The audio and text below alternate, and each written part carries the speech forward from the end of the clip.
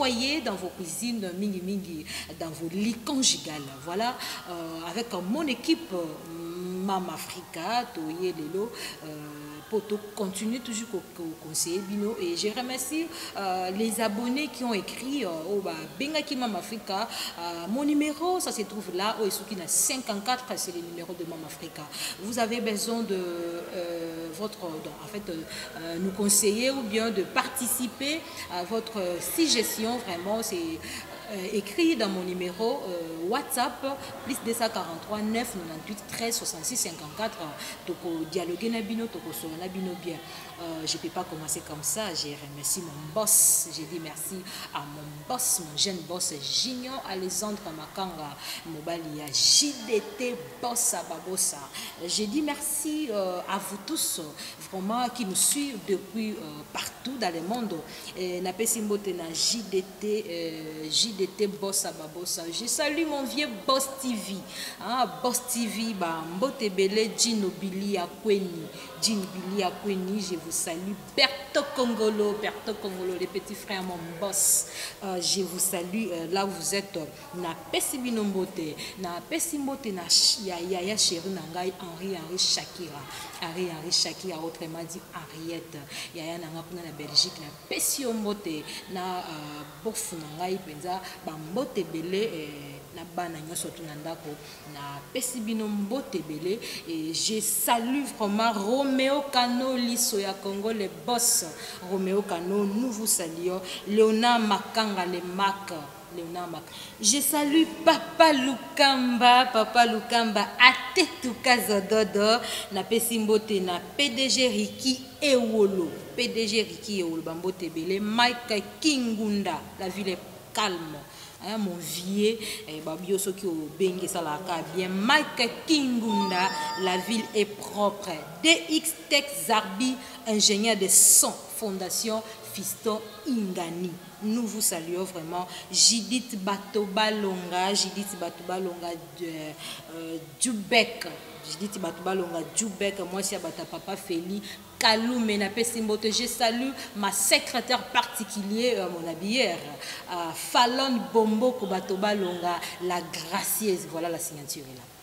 Je vous salue. Vraiment na pesi mbote na papi bato balonga na pesi mbote na glodi bato balonga parti de l'Afrique du Sud balobi mikolo yo masolo eza ya Jean Production TV hein? Je vous salue. Voilà euh, je commence euh, notre émission na banana nanga bonjour encore. Voilà, moi c'est Imam Africa. Merci beaucoup de vous répondre à l'invitation d'Angaï. Euh, tokobanda na présentation tobandi awa opesi nkombo na yo et puis mosala nini osalaka oza nani parce que je sais que vous êtes des actrices comédiennes et boza na bagroupe nini et ça fait bien voilà ouais, bonjour tout le monde moi c'est Morgane la star euh, bato ebele babenganga kabasi na nkombo ya mboka nde nkombo bato bayebeli nga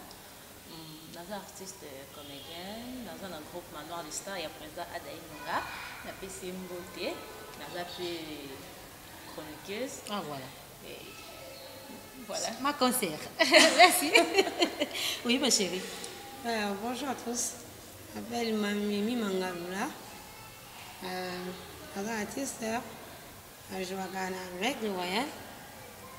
Mon président ya biso président Bosco Kumba. Ese ba mbote ebele ebele vraiment. Bon merci.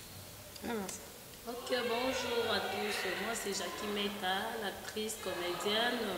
Euh, na jouaka na groupe Aigle Royal chez Bosco Bumba. apesi ye bambote ebele posa voilà merci beaucoup balobi euh, kolekisa meme une minute te ya ke émission oyo oh, eleka yo je vous dis ya de, de surprise ah, basurprise moko ya bien vraiment eya na kati émission oyo vraiment bosepela maître nicolas ibumbu Patrick Mombanga euh, na Russie donc euh, balobi ba surprise eza ebele vraiment na émission oyo ko perdre même une minute hein la grande scène nimi nimi mi hein nana nimi ko perdre te donc euh, yo o oh, s'abonner na te yebisa de quoi s'abonner à s'abonner parce que Mama Africa aza ko innover kaka ba ba innovation ezo ya kaka pour que na se pesa talaka bino bato bovimbi bokomisi ngai mwa mabunditi mwa chocolat ezomata parce que vous êtes là euh, soki boza te il faut kaka toconseille bino kaka madame mesdames menana euh, sujet na biso ezali euh, les abonnés face au conseil lelo tozo conseiller bandeko basi oyo baza na poto mpe na mokili mobimba ba jeune couple mpe ba, ba fiancé eza na bandeko ebele bazobosana ya mpe mwa baorigine ya baafricain eza na bandeko ebele soki asi akoti na libala amoni ke non sava abosani ke non bandeko nyonso baotambola libanda na baa bambanda na bango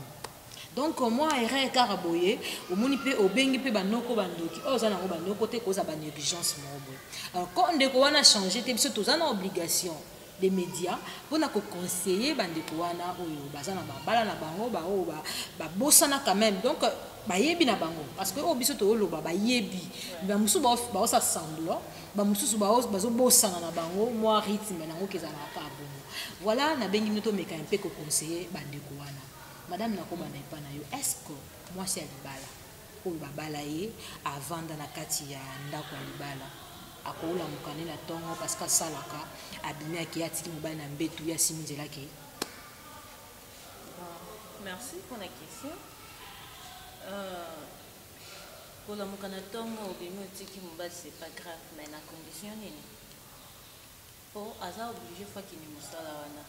mais avant okende musala yango faut soigner relation non ba soignaka relation on sait jamais siko tango yo soigner te otiki mutu na biloko mobwe na mutu donc akomona mpe kosa leka moko boya bibo nakosa ka naleka mpo motu oyo faaki asisa yango asilisi yango te abimi akei atiki ngai na yango na motu akosi mpe aleki bomoni akangami ekomi o oh, fami bandoki balingaka ngai te basali bopo nazonga chez le parent oh yo moko nde osoignaki te ntango deja yo oyebi ke efonaki mosala soit na 7 heures bon heure eh, eza nango ebele hein. ba 5 heures wana 4 heures wana basala yango poani na montre bato mosusu balalaka soki oza no célibataire olali mais soki oza no marie ba 5 heures 4 heures wana hein, obeti mwa lock na yo oye ozongi na mbetu Opesi pe papa bilengi na ye alukaka tala kaka ba papa bazongaka ba bebe na biloko ya bongo sikoyo ntango yo ozosoigne relation te osibi nzela okie yeba ke ye mpe ntango akomona mwa kosa leka abi bon nakosa kaka naleka akosi babi petit yango mpe aza ne bien adiembeli nani bokomi sikoyo mibale omoni wana sikoyo nde fo fo kosoignaka nanu avobima ata bible ezoloba bongisa no ndaku na yo hein avant kende na eglise tango ozo soigner na papa te seke kuna mpe koto soki kuna makambo ezalaka ya mbelinga mbelinga voilà. papa mpe fo bakomprena ya biso bango mpe fo basepelisaka biso basi mosusu omona ngo makandakanda oleka na nzela elongi ese kangama nango ya libela donc ofingi ye te mais aza déjà prêt mpo boswana na ye kaka pamba boye mpo ya nini père asepelise te oui ekomisaka biso kandakanda on va arriver là ma chérie mima ah, oza oza vrai chérie oza na jo na yo na ndako eh, conseiller eh, eh, fille wana aza lokola yo azala na chérie na ye bafiancé okende kotala fiancé na yo okomi na otali fiancé okomi boye no fiancé olinga abima na ye eske mwa eloko nini okosala mpo ke fiance abima mwasi tesa na mwa neti na mwa climat boye okuti moninga azoprepare mpo akende otika ye kaka abima ou bien ifo mwa eloko moko boye merci mon afrika mpo na baparole na yo mpo na nga soki nayaki ta fiance na nga ke nakuti fiance na nga alinga abima na baclimat oyo atiki boye te Soki atiki ye boye donc epesa ngai donc ata mwa sentiment ke faut asepelisa nga nga mpe nasepelisa ye toyokana ba bilengi kua mpo yango soki napesa ye bilengi wana moyen azwa courage ya kobenga tantine na nzela ezala te parce que amitala ah mwasi na nga apesaka nga deja tout kotinga mwa mwa boye vraiment merci beaucoup euh, mama meta euh, est ce que okoki ota chéri na yo Tenue nini fallait jeune fille akita fiancé na ye ou bien akita ayebi ke lelo na oke kuta na chéri na nga akoki ko se préparer en terme ya tenue akoki ozala ndenge da présence na ye kaka boye fallait azala ndenge merci mama afrika ekozuka eh, mpo na ngai soki oke otala sheri na yo premièrement nanu nga moko nakoluka nalata eloko moko esedire ekwa C'est que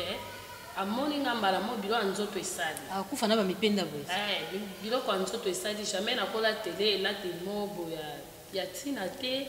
elateli moko boye ya ondire ma pasteur ata kutu ma pasteur yango ezalaka na eglise ambo mais soki boza bino mibale boye Tenue liputa robe mulayi ah, etelema normalement te hein. Vraiment, merci beaucoup. Euh, moi, c'est Mam Africa, votre journaliste international. Trouvez-moi sur J'aime Tala TV. Voilà, on est là. Euh, maman Kabassi, la lingana bengo mingi Kabassi. Hein? Ouais, oui, oui, oui, ils ont bandeko mususu oyo bandeko basi oyo bavoyagea bakóma na poto tellement ke yake na mwa libanga mobali akendaka te aye boye abimi na ntongo ntango azonga ndako en tout cas euh, mobala olinga simbe boye non ne me touche pas je suis fatigué tu sais toi tu te restes à la maison non moi j'ai beaucoup travaillé tu vois donc euh, mobala aza lisusu na temps osimba ye te parce que euh, ye azobeta mwa libanga mobala obeta te est ce que c'est permis mwasi ya libala to meme babala yo officiellement te mais feti bovanda esika moko est ce qu'il faut punir moninga mpo oyokendaka mosala yakendaka mosala te atikala na ndako soki aye asimba wa bozo okamati mokongo opesi ye est ce que eza bien faute basala mabe makasi yango omoni banoko ekini bango moko préféré auta ne poto afuti ne biye na ye aya oyokani Au moment oui na poto basi bazali eh bazali penza pe boye otali pe muasi yo moko pe omitali boye bi eh te na okakoli na eloko te mais mobali afuti billet aye na kin po azwa sentiment wana oyo ozo pesa ye te après bakoloba mibali baza ba infidèle au moment où yo moko ozo tindika ye libanda Yo moko nanu ndenge oye outi musala bongo toboyi te atikalaki na ndaku tango mosusu na minute yana nao musala emonani te bavandaka pe na ndaku pamba te akoki pe ko aider yo na eloko moko boye bozonga pe boye cherie table eza prete olie nao pe tango olie wana zala pe na bonne volonte okoti douche okeyi o preparer vraiment boulevard obongisi yango bien okomboli oye na mbeto otandami lokola likayabo ya mobali sala limoni nga tango azua ayoki pe bien.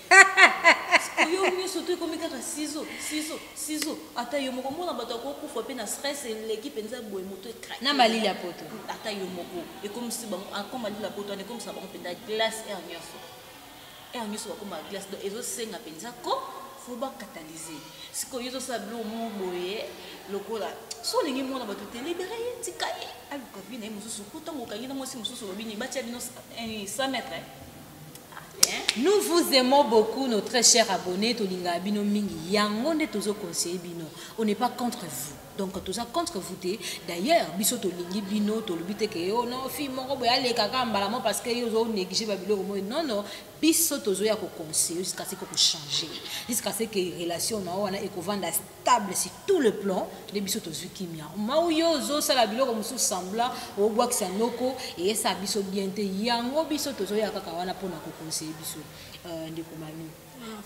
est ce que mwasi akolala na teni nini balali na mbeti na mobali na ye alala na teni nini teni oyo eza peme okokonseye ndeko atanga alala mobali malgre il fait froid malgre il fait froid vraiment akolala na teni nini na mbetu Ok ma ofika.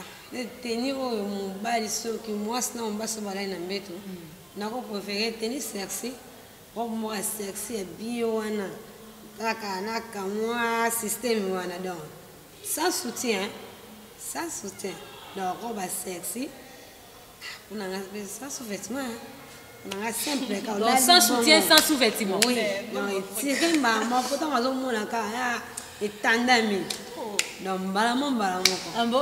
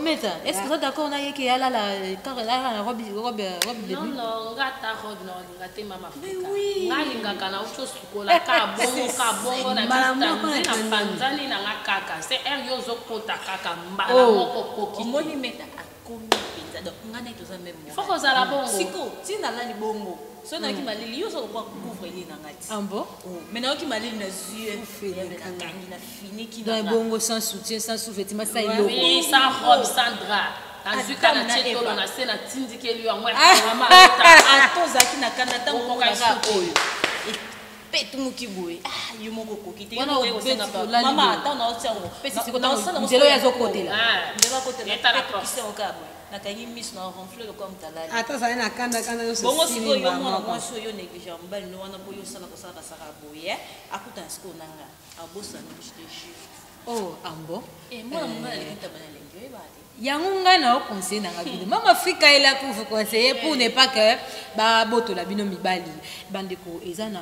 euh, bandeko moko na poto hmm. mibali mosusu bakenda na bango poto en tout cas bakoma na bango désespéré bakoma désespéré bamona okoma kaka ke basi nyonso baza kaka mabe pourkui eh, bakutana na makambo oyo basi basala bango ba decevoir bango vraiment mosusu abengisi kaka nde tooloba kaka boye moto moko akomeli ngai akomeli ngai na resu ayebisi ngai boye mama afrika omoni bafille wana baoloba wana mm. soki bakomi mpe na poto mm. bakosalaka bongo nayebisi na bite biso toza tozopesa conseil toza koedike est ce que boza sur ke ndenge toloba boye yo mpo okomi na poto oza lokola bango te okomibanda komitanda bongo sans soutien sans sous-vêtement sans eloko lokola adamu na eva ayameta kokoma poto neti nga mobali oyo ozwi nga nake poto nakokoma infidèle par rapport mobali na nga te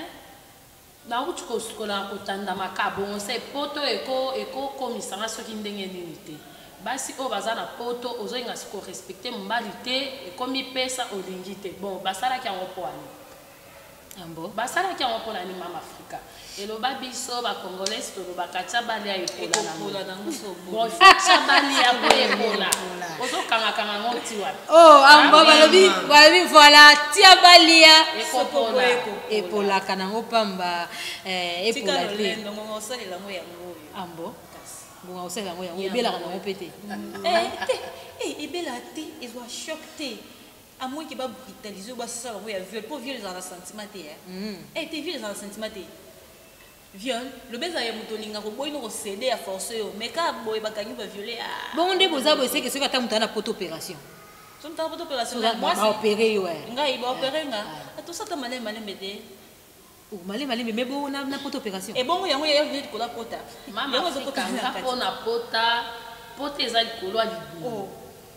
tokosala malembe malembe po te ekobimana kaka nga kutu ata obeti nga toswani bon obeti nzoto toswani na monoko toswani kuna te en tout cas kuna eza na na kanda moko te ke yango ekangama binemi mima yesu oza d'accord ke babeti nde oza bokomi rouge nde oza pembe boye bakomisi yo mpenza rouge mais aye akuti oyo komitandama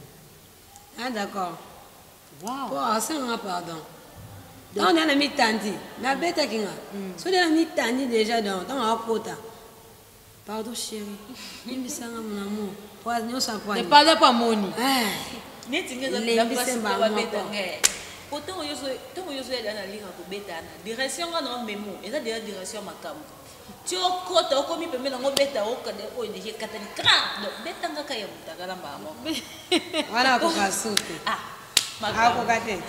bandeko oyebi euh, eza na mibali mosusu omona soki atomboli boye oyo biso tolobaka forêt équatoriale mhm. c'est-à-dire que mwasi mm -hmm.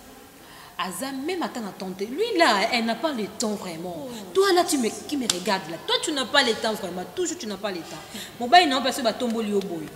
alata kaka alata kaka uh, bras cassé to alata sengle mawa trop ou bien même ata soki mpe otomboli na miso ndenge olanda ngai miso kite mama afrika mm. oyo yanga aza bien rasé est ce que yo moto orazaki ye mm. est ce que yo moto orazaki ye mwana basi mosusu mpenza boye mobali azopota na ye moko kuna kwakwakwakwakwa est ce que role ya mwasi te ke otandi bebe na yo osalisali ye boye bongo te soki na mituna na basi ya bongo eh. oki otomboli boye omoni yango etondi mm. natuna no basi ya bongo seke soki déjà pays bas ya papa eza na boye mm. seke kuna na australie mpe kozala ndenge moko sikoyo natunaka bana basi yango bautiliza banescle te hein mpo soki bazalaki koutiliza yango bangai bawandolinga zambe etonda te mm. ozamba mpenza soki etondi moye nasopa ata nescle boye nalia ata nasakala na fiba ata nescle yango ekozala te faut raser ba pelouse okati okati okati omoni etikali mpenza lise ya boye soki osopitikali sikoyo bien neti eh, chocolat osopi ata mwana escli obe yao mwa ketchup na yo osopi a ah, wana facilité ya kolembola yango olia yango na pete sanki matite ekangama Ah, mon boss Jumac, Jumac Junior Alexandre Makanga babi to matisa ba degré donc jeune talent de makambo o s'abonner na jeune talent te ozanga makambo ebele mama Afrika koto azo mata mama Afrika aza ko innover babi toza na ba histoire vraie toza na ba émission polyvalente ba émission politique football nyoso tout omonaka awa tokomi na émission les abonnés face à conseil nous vous conseillons vouloir ou pas c'est une obligation nous vous conseillons bandeko na ngai euh, est ce que ndeko moko akomelaki nga parce que bandeko bazokoma mpena yo ozokoma te na numero ya mama afrika mm. na okamwa soki pourkoi ozolinga opesa nga basuggestion na yo te mon vieux boss tv bokomaka esala mpe bien en tout cas esalaka bien henri henri shakira ya na nga moko mwasi ya marc angelici Marc Angelisi beau frère na ngai ya mundele abotela biso mwana mundele masolo eke bien te ma grande ma grande chérie Henri Henri Shakira ekende bien donc euh, bandeko mosusu bayebisi nga boye bandeko basi mhm. ba congolaise parce que euh, les africains en général et en particulier nos mhm. congolaises okay. nos amis congolaises nos sœurs nos grandes sœurs mhm. nos amis qui vivent ailleurs en Europe Et mona mobali abengisi ye akomi na poto asali tu azwaka ya zemi azwi zemi aboti ntango aboti ayebi ke na oliela na nga nsima mwana asundoli na ye mobali azwi mwana na ye bakomi ofuta ye na nsima mwana e mobali wana azoloba mabe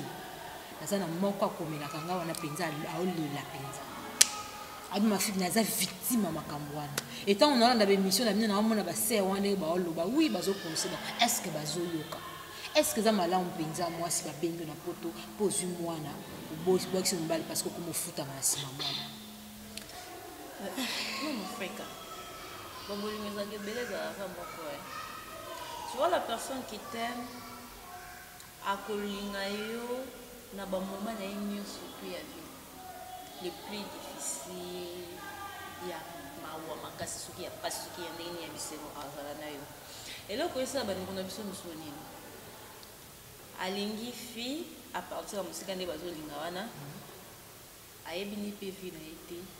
Sans ki a confirmer soki alingaki ya solo. Sans ki ezala soki ndenge nini. Kaka ba kosolola na biso oyo eh bebe, bebe. Neti nga boye nabengaka mutu tout bebe.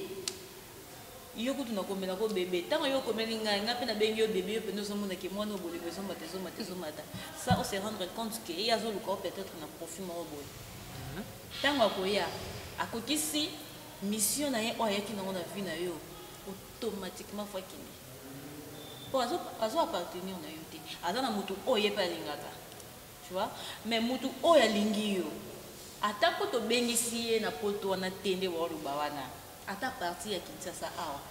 ndenge yobi te bon lokola ba- basi bakomi boye basala basala bonga na banokende kin nakutani ye na kin bamama miso to kuna nabala ye azala nao kuna na teste nata atotiki ye panda 10 ans Awa zelo omemi ye na poto ovandi na ye ata okangi ye na ndako olobi obanda obimaka to obanda osala te nga kani na osalaka yo kobima no eza kotambola na ngai yo be boye afanda so alingi yo mwasi oyo azosala bongo seke alingaki yo te azalaki na profit ntango amoni ke akokisi na ye baposa na ye sikoyo avanda na yo pourkui akei na ye yaki osala bavi na ye aluki mobali oyo alingi bakontinue vi na bango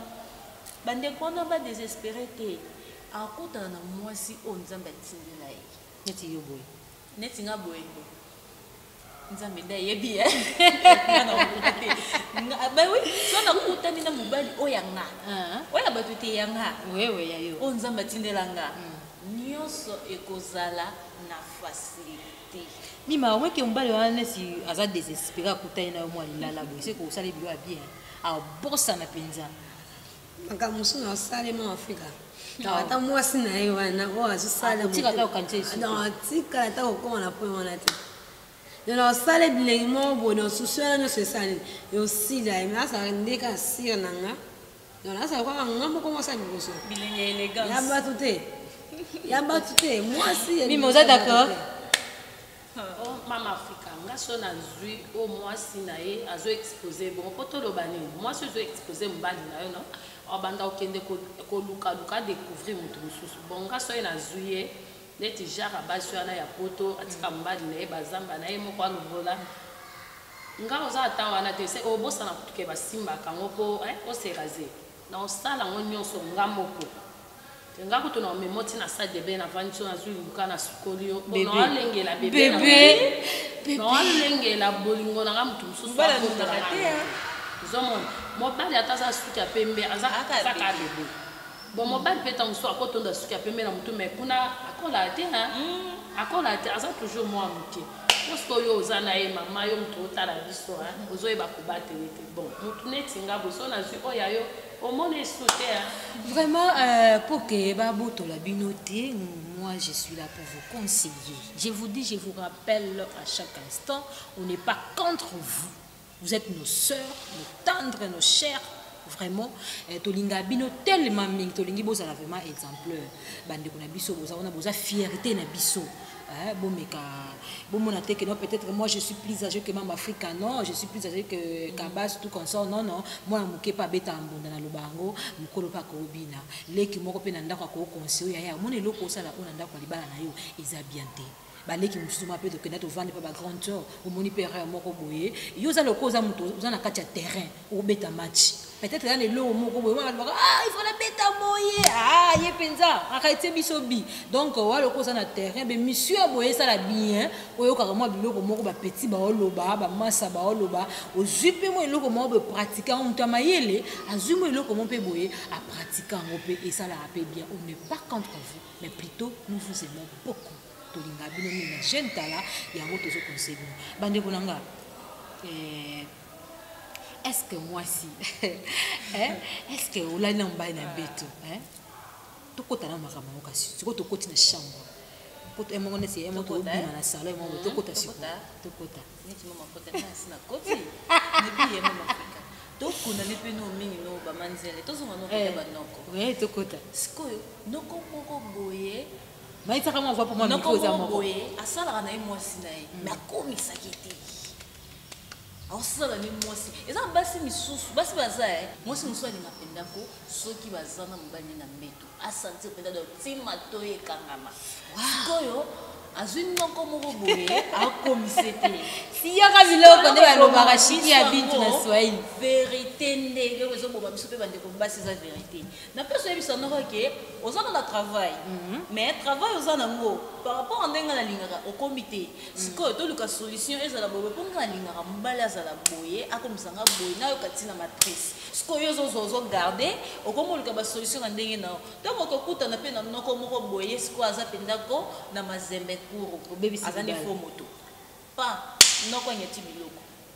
okomi fanatique faute ya nani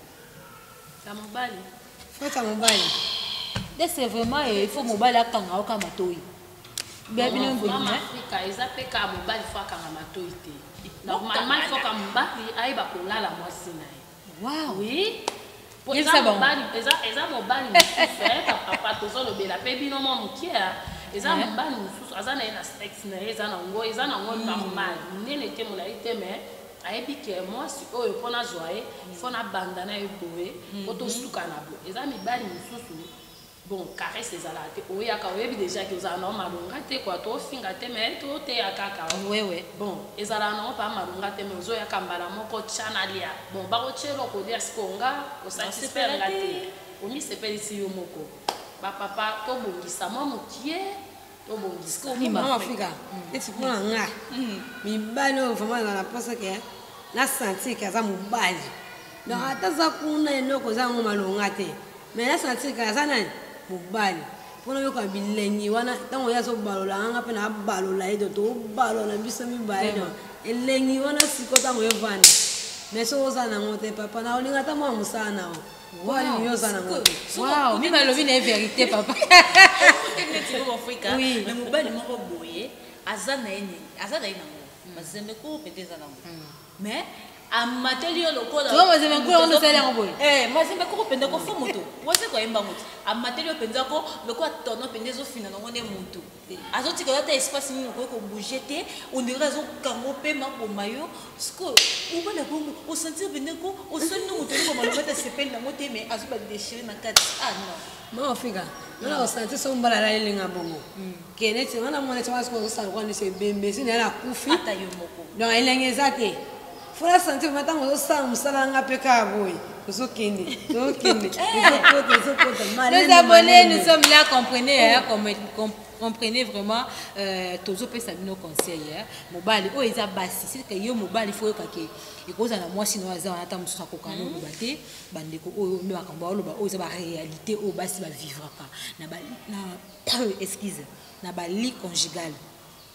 eza makambo oyo euh, basi vraiment bavivaka na bali conjugale mosusu omona atondi na ye te mais euh, peut-être mosusu ana courage ya koloba te donc bandeko baolobela nde ye moni mwasi ozalaka na ye wana peut-être akomaka te bandeko baolobela ye je vous dis mwasi azwaka mwa temps azwaka mwa temps mpo akita là c'est vrai par rapport na mobali mobali akokende pa omati plafond bu okiti mais omona mwasi atikali likolo ya plafond c'est vraiment vraiment très capital que kotikaka moninga na plafond te et surtout mibali batikaka basi na bango na moko ezalaka très dangereuse na oyebisa bino Oh, il faut combien ah, Non, non. Attends, 7. Tala, Mama Africa, kokosama te oye otali mwasi na yo eh, nde ezala ngo mpe na soir bolingi okende obi te nasala ata kosala leka kusoso e eh, te etikaka basi na soif so oki na nsima na oyo okute na voisin en tout cas supporte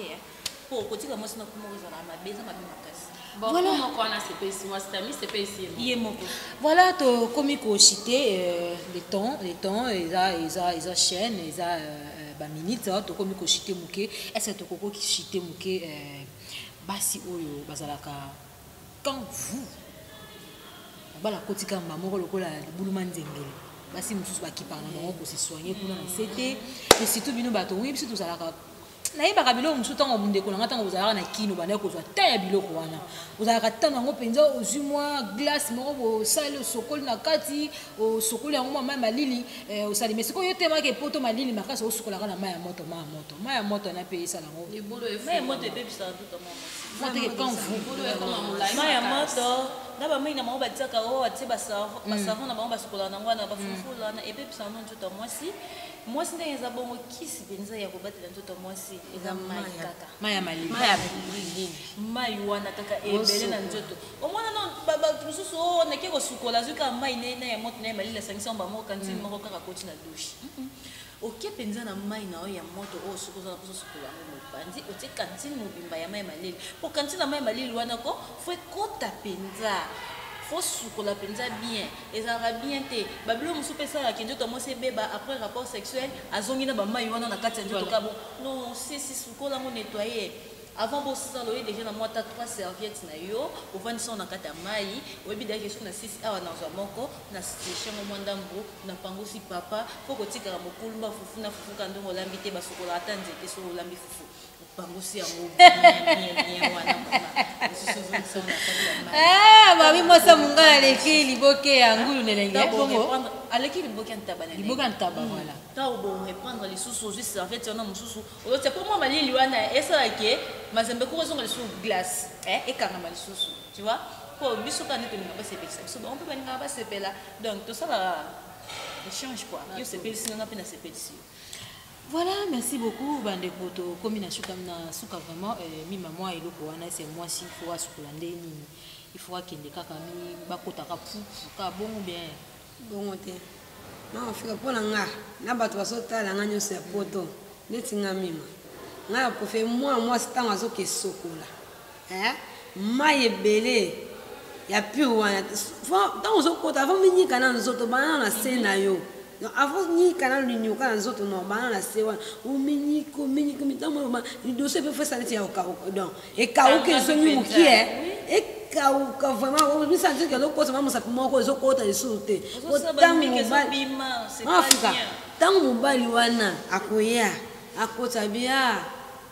akoti place moko elengi donc po ekota akotana na pasi ya fikofiko bongo tebongo te beta oyebi eloko mosusu omona mwasi mobali azolata ye aza ni na salon aza te mobali alati ntango mosusu vetima ya noir alati chaussette ya pembe asimi nzela akei ntango akozonga azolongola bilamba yo mpe oza te bandeko soki bachange libanda esi okoyeba mama akutani sikoyo na moto moko boye soki akomi kuna ye moko alongoli chemise alongoli ye semble alongoli ye sous-vêtement wana alalisi ye azwi makola tie na mai amase aliesi ye e baba mpenza koyelanga biloko na poto otielanga mpenza na nzoto yo moko ozoliesi olongole mikuwa na monoko alongoli ngo sikoyo yo awa ozwa akotiki na misa hmm, papa mambweni biloko no yango wana oki olala e yaya olali balali ngaso nakutani na mobali nosaki bongo komitungisa na yo te nayebi nayebi kopini moko abanda kobetela nga lisolo alobi azalaka na mobali moko boye omona euh, bazo bazo vivre na ye soki baza na makambo bango basali basali omona akozwa chaussette akoti yango na kati ya saki na ye abimaki mwasi otuna bi oh mais olati sote oyo nanawaki makolo esali mpasi mais yo obimaki na ndako na yo na bachaussette ndenge nini yo ozolongola bachaussette ozokende ozonga na ndako na yo sa bachaussette bongo soki mwasi atuna alobi ye azalaka na ntango wana te abe azala na temps te ya kocontrole nga biloko na lati meme kaleso na lati ayebi couleur yango te mama afrika normalement mwasi na libala oza na mobali na yo na ndako ere azolata ifo yo ozala na chambre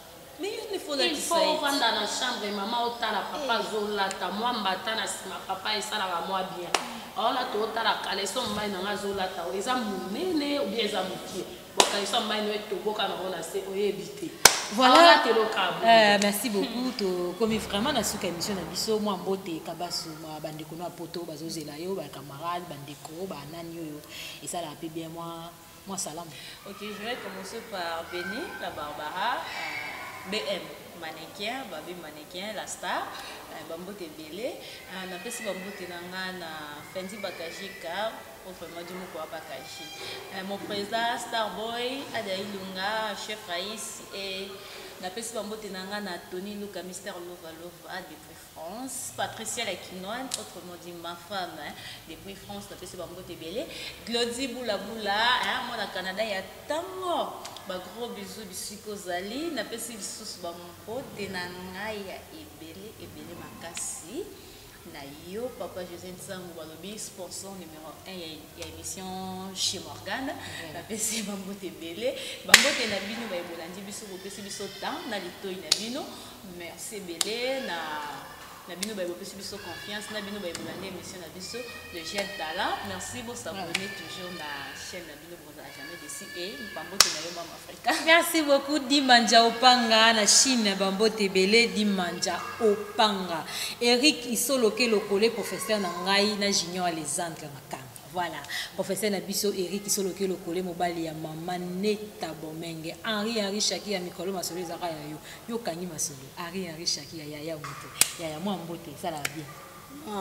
ba fanatique na nga nyonso bon napesi mbote na boss apolina napesi mbote ya mwana don na monika donc nganda monique na landa donc boss eriki mbamba la suisse donc napesi mbote pa remi kabau napesi mbote pa blacki star babilika musicien napesi mbote na ngai mpa bafanatique na ngai nyonso balinganga tosaboni toujours na chaîne na biso jeune tala tv ouais merci na mama afrika yaya mwa bambote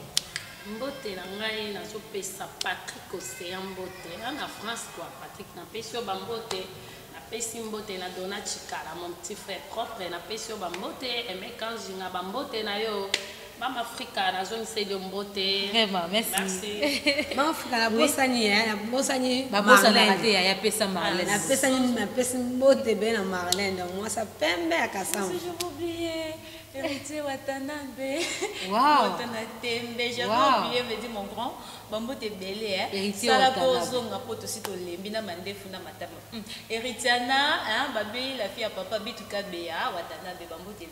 Voilà, je salue Montréal euh, sans pro mobali ya pembe ntango nasalaka na émission ngungi akota te na émission na ngai lelo naza na mike babi jeune tala équipe mobimba lelo nao travaille na mark babi mike euh, réalisateur na ngai ya nzoto mike bokono te mobala chocolat wana nsima kamera wana euh, voilà équipe mobimba ya jeune tala topesi bino mbote kasi ngai mama afrika nayebisi bino boye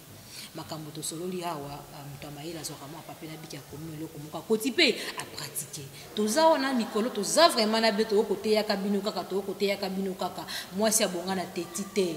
ezongisaka origine na biso ya baafricain tozali bongo baafricain meme ata oza na poto eyebaka ke origine na biso ya baafricain femme soit soumise bible mpe elobi ke celui qui trouve une femme trouve le bonheur pesa papa bonheur na ye meme isi yo nde oza na mwa eloko ya nzoto nde naloba eloko ya nzoto maître nicolas ibumba oyeba mwa eloko ya nzoto mwa nkanda papa avandaka na ndako yo okenda kobima kasi pesaka mpe papa vraiment oyo oh, wapi ezali respect na ye antake baafricain eh, servi papa kotikaka mwa mosala te kokendaka kosomba biloko na restaurant te selaka mpe papa mwa eloko aliaka sepelisa papa soki deya morala papa eza bien makanisi mpe kozala bien ke aluka mpe mosala mpe mwana to mpe boevolue parce que mwasi na mobali soki baza En un com, dans un commun accord, bazoswa liloba moko, omona ke makambo mpe kofungwama. Azali première amie na yo. Balobi na ebande ntango tolinganaka au départ one ya amie. Toza vraiment amie. Bobosana bolingo wana te parce que bino bovandi na ndako moko, bolingo ya kala na bolingo ya sika ezalaka te. Bolingo osalaka neti bolingani ka lelo. Eza kaka nde tokendaka ndako ya Nzambe te,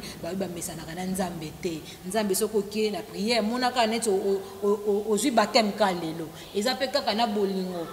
innova ka babi mwasi aza premier ministre oza premier ministre il faut osalaka mpe bainnovation bainnovation ezalaka papa ye mpe boasentir mwa innovation mwa pose moko boya sentir papa ye boakuti mwa mwa soufetima na ye obongisi orepase yango otyango na mbeto wana kendeki kosukola bima boye obongiseli mwa sengle mwa eloko na ye kataka mpe papa manzaka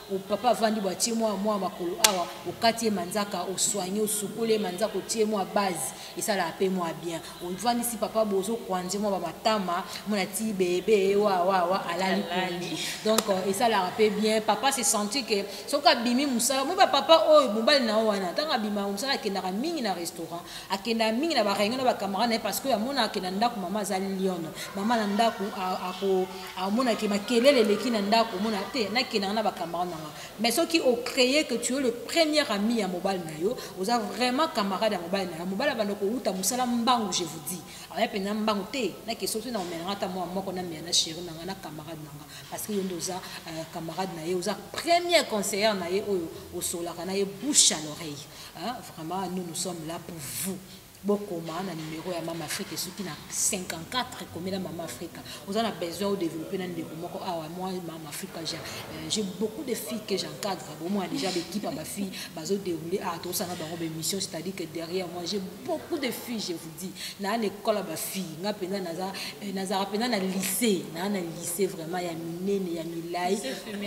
lycée vraiment ezali vraiment lycée féminine oza na besoin ya ndeko moko awa do benga mama fika koma ke na besoin na développer apesa nga mwa conseil comprendre na cadre wana na besoin apesa nga mwa conseil na, na, na pv donc benga mama fika omona ke conseil na pv elekaki taka Voilà, quant à moi, je vous dis de gros bisous. Nous vous saluons. Nos, notre boss, jeune boss Junior Alexandre Nakanga. Ya Buena Zouawapi. Mabi Bisoka na jeune Tala Awa. Collé serré.